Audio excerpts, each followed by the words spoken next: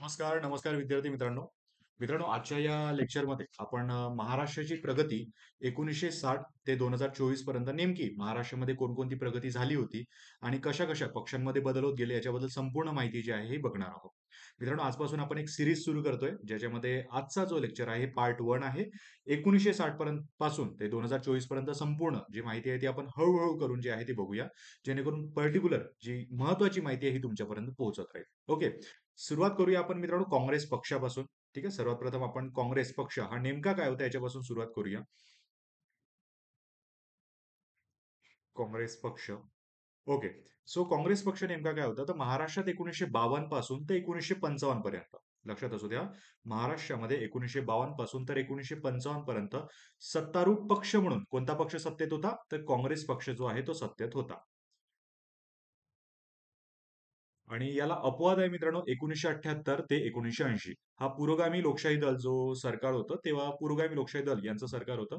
त्यामुळे तो काळ अपवाद राहील परंतु 1978 ते 1980 पर्यंत पुरोगामी लोकशाही दल जरी कार्य करत असलं तरी महाराष्ट्रामध्ये सर्वात जास्त वेळ काँग्रेस या पक्षाने काम जे आहे ते केलेलं आहे. ओके याचबाबत अजून एक गोष्ट लक्षात असू द्या की एकोणीसशे एकोणसत्तर साली काँग्रेस पक्षात फूट पडल्यामुळे दोन नवीन गट निर्माण झाले. ते कोणते दोन गट होते? तर एक होता इंडिकेट गट आणि दुसरा होता सिंडिकेट गट. एक होता इंडिकेट गट आणि दुसरा होता मित्रांनो सिंडिकेट गट. ओके. आणि याच वेळेचं जे व्ही व्ही गिरी जे आहे ते ऍज अ राष्ट्रपती म्हणून निवडून आलेले होते. हे फक्त माहितीसाठी लक्षात असू द्या. ओके. त्यानंतर एकोणीसशे बहात्तरमध्ये निवडणुका झाल्या आणि एकोणीसशे बहात्तरच्या निवडणुकांमध्ये कोणत्या पक्षाला बहुमत जे आहे ते मिळालेलं असेल? तर लक्षात असू द्या मित्रांनो इंडिकेट पक्षाला तेव्हा बहुमत जे आहे ते मिळालेलं होतं. इंडिकेट पक्षाला मिळालं बहुमत. आणि त्यानंतर एक घटना आहे एकोणीसशे बहात्तर दरम्यानची हे सुद्धा लक्षात असू द्या.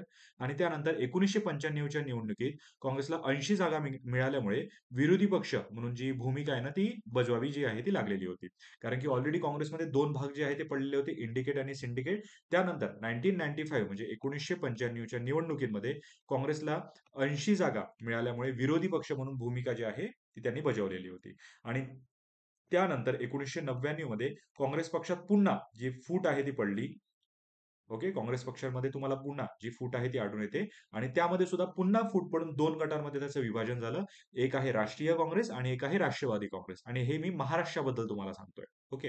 एकोणीसशे नव्याण्णवमध्ये पुन्हा एकदा फूट पडली आणि दोन पक्षांमध्ये त्याचं रूपांतर जे आहे ते झालं. एक आहे राष्ट्रीय काँग्रेस आणि दुसरा आहे मित्रांनो राष्ट्रवादी काँग्रेस. राष्ट्रवादी काँग्रेस.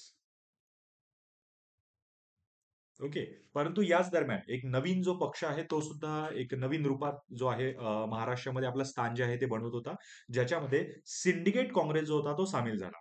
ओके लक्षात असू द्या मी काय म्हणतोय. काँग्रेसमध्ये ऑलरेडी एकोणीसशे एकोणसत्तरमध्ये दोन भागांमध्ये त्याचं डिवायडेशन जे आहे ते झालेलं होतं. ते दोन भाग होते एक इंडिकेट भाग होता आणि दुसरा भाग होता सिंडिकेट आता इंडिकेट भागाला बहुमत मिळाल्यामुळे तो पक्ष आला सत्तेमध्ये आणि सिंडिकेट काँग्रेस जो होता तो मात्र मागे पडू लागला. याच वेळेस एक नवीन पक्ष जो आहे महाराष्ट्रामध्ये एक नवीन उभारी जो आहे तो घेत होता आणि तो पक्ष होता जनता पक्ष. जनता पक्ष. ओके सो या पक्षाबद्दलही शिकणं गरजेचं आहे. तर लक्षात असतोय मित्रांनो महाराष्ट्रामध्ये चार असे पक्ष होते जे जनता पक्षात ऍक्च्युली विलीन जे आहे ते झालेले होते. महाराष्ट्रामध्ये चार असे मुख्य पक्ष होते जे जनता पक्षामध्ये विलीन झालेले होते. ज्याच्यामधला पहिला पक्ष होता ज्याच्यामध्ये महाराष्ट्रामध्येच फूट पडलेली होती आणि तो होता सिंडिकेट काँग्रेस. तो पक्ष होता सिंडिकेट काँग्रेस. त्यानंतर अजून एक पक्ष हा जनता पक्षात विलीन झालेला होता. तो होता समाजवादी पक्ष. समाजवादी पक्ष. त्यानंतर होता एक साम्यवादी पक्ष. ओके? हे पक्ष कसे होते? तर हे पक्ष ऍक्च्युली जे आपला जो गट होता यामध्ये विलीन जे आहे हे झालेले होते आणि हे पक्ष थोडे शिकून घेणं गरजेचं आहे कारण की महत्त्वाचे असल्यामुळे. ठीक आहे? हे लक्षात असू द्या. ओके. आणि पाचव्या क्रमांकाचा पक्ष होता मित्रांनो भारतीय लोकदल. भारतीय लोकदल. ओके. तर पहिले लक्षात असू द्या पहिला एक पक्ष होता ज्याचं नाव होतं सिंडिकेट काँग्रेस दुसरा एक पक्ष होता ज्याचं नाव होतं समाजवादी पक्ष दुसरा एक पक्ष तिसरा एक पक्ष होता मित्रांनो तो साम्यवादी पक्ष. असं म्हणण्यापेक्षा आपण ते घ्या जनसंघ. जनसंघ. ठीक आहे? म्हणजे तुम्हाला हे पक्ष डिटेलमध्ये शिकता येईल. आणि चौथा पक्ष होता भारतीय लोकदल. हे चार पक्ष असे होते जे कशामध्ये विलीन झाले होते? तर जनता पक्षामध्ये पूर्णतः विलीन जे आहे ते झालेले होते. आता सिंडिकेट काँग्रेस काय होता? तर तुम्हाला माहिती असेल एकोणीसशे एकोणसत्तरमध्ये काँग्रेसमध्ये फूट पडून दोन नवीन गट निर्माण झालेले होते. एक होता सिंडिकेट आणि एक होता इंडिकेट तर सिंडिकेट काँग्रेस यावेळी जनता पक्षामध्ये काय झाला होता? विलीन जो आहे झालेला होता. आणि ही घटना कधीची आहे? एकोणीसशे एकोणसत्तर दरम्यानची. आता समाजवादी विचारसरणीचा पुरस्कार करणारे सिंडिकेट पक्षाला प्रतिसाद न मिळाल्यामुळे हा पक्ष जनता पक्षात विलीन झाला. म्हणजे याचा नेमका अर्थ काय? की काही लोकांचे तेव्हा जे काही नेते होते यांचे विचार हे थोडे समाजवादी प्रकारचे होते. समाजासाठी काहीतरी करण्याचे विचार जे आहे त्यांचे रुजलेले होते. त्याच वेळेस सिंडिकेट काँग्रेस जो होता याला पूर्णपणे पाठिंबा न मिळाल्यामुळे हा पक्ष एका नवीन पक्षात रूपांतर होण्यासाठी जनता पक्षामध्ये विलीन जो आहे तो झालेला होता. त्याचप्रमाणे एक दुसरा पक्ष होता मित्रांनो ज्यांचं नाव होतं समाजवादी पक्ष. आता समाजवादी पक्ष हा नेमका याची स्थापना कोणी केलेली होती किंवा याच्याबद्दल माहिती सांगायची झाल्यास एक होता समाजवादी पक्ष. समाजवादी पक्ष. ओके आता या पक्षाबद्दल सांगायचं झाल्यास एकोणीसशे चौतीसमध्ये जयप्रकाश नारायण जयप्रकाश नारायण अशोक मेहता आचार्य नरेंद्र देव या तिघांनी मिळून समाजवादी पक्ष जो आहे याची स्थापना जी आहे ती केलेली होती. कोण कोण होते? तर जयप्रकाश नारायण आचार्य नरेंद्र देव आचार्य नरेंद्र देव आणि अशोक मेहता. अशोक मेहता. ओके या तिघांनी मिळून समाजवादी पक्ष जो आहे तो स्थापन केलेला होता. परंतु या समाजवादी पक्षामध्येही फक्त माहितीसाठी सांगतोय जसं काँग्रेसमध्ये फूट पडलेली होती त्याचप्रमाणे भारतातल्या कोणत्याही इतर जे पक्ष आहेत त्यांच्यामध्ये सुद्धा फूट पडलेली होती. त्याचप्रमाणे समाजवादी पक्ष जरी एकोणीसशे चौतीसमध्ये स्थापन झालेला असला तरी यामध्ये सुद्धा एकोणीसशे पंचावन्नमध्ये पडली होती फूट. हे लक्षात असू द्या. एकोणीसशे पंचावन्नमध्ये समाजवादी पक्षामध्ये सुद्धा फूट जी आहे ती पडलेली होती आणि यातून दोन नवीन गट निर्माण झालेले होते. कारण की ऑब्व्हियसली गोष्ट आहे. एखाद्या पक्षामध्ये फूट पडली तर ऑब्व्हियसली तीन पक्ष जे आहे ते निर्माण होणार नाही. दोन जे गट आहे आधी निर्माण होतील. त्याचप्रमाणे एकोणीसशे पंचावन्नमध्ये सुद्धा दोन गट जे आहे हे समाजवादी पक्षातून निर्माण झाले. त्यातला एक गट होता मित्रांनो राम मनोहर लोहिया यांच्या समाजवादी पक्षाची पुनर्स्थापना. ओके? एक होता राम मनोहर लोहियांसोबत. राम मनोहर लोहिया. यांच्यासोबत असलेला एक पक्ष होता. समाजवादी पक्षाचाच हा भाग होता. पण राममनोहर लोहिया यांच्यासोबत जे सदस्य गेले त्यांनी हा जो पक्ष आहे डॉक्टर राममनोहर लोहिया सोबत समाजवादी पक्षाची पुनर्स्थापना जी आहे ती केलेली होती. ओके. म्हणजे हा समाजवादीच पक्ष होता फक्त. हा पक्ष राममनोहर लोहिया सोबतचा होता. ओके. आणि एक दुसरा पक्ष होता मित्रांनो ज्याचं नाव होतं प्रजा समाजवादी पक्ष. प्रजा समाजवादी पक्ष. ओके आणि या पक्षाची स्थापना कोणी केली होती सर? तर या पक्षाची स्थापना केली होती मित्रांनो अशोक मेहता यांनी. अशोक मेहता. ओके तर लक्षात असू द्या बघा मी ऑलरेडी सांगितलं आहे तुम्हाला की समाजवादी पक्ष जो आहे हा एकोणीसशे चौतीसमध्ये स्थापन झालेला होता. तीन व्यक्ती यामध्ये मुख्य भूमिका बजावत होते. एक होते जयप्रकाश नारायण दुसरे होते आचार्य नरेंद्र देव आणि तिसरे होते अशोक मेहता. त्याच दरम्यान एकोणीसशे पंचावन्नमध्ये यांच्या दोन भागांमध्ये विभाजन जे आहे ते करण्यात आलेलं होतं. एक होता राममनोहर लोहिया यांचा पक्ष जो पूर्णतः होता समाजवादीच पक्ष. आणि दुसरा होता प्रजा समाजवादी पक्ष ज्याच्या अंडरमध्ये याचे अशोक मेहता. अशोक मेहतानी हा जो पक्ष आहे हा स्थापन केलेला होता. परंतु सर जर हे पक्ष वेगळे होत आहेत तर हे कधी एकत्र येत नाहीत का? ऑब्व्हियसली गोष्ट आहे जर काँग्रेस आणि मुस्लिम लीग वेगळं होऊनही एकत्र येत असतील जहाल आणि मावळ हे वेगळे होऊनही एकत्र येत असतील त्याचप्रमाणे समाजवादी पक्ष सुद्धा वेगळे होऊनही एकत्र आलेले होते. आणि कधी आले होते सर हे एकत्र?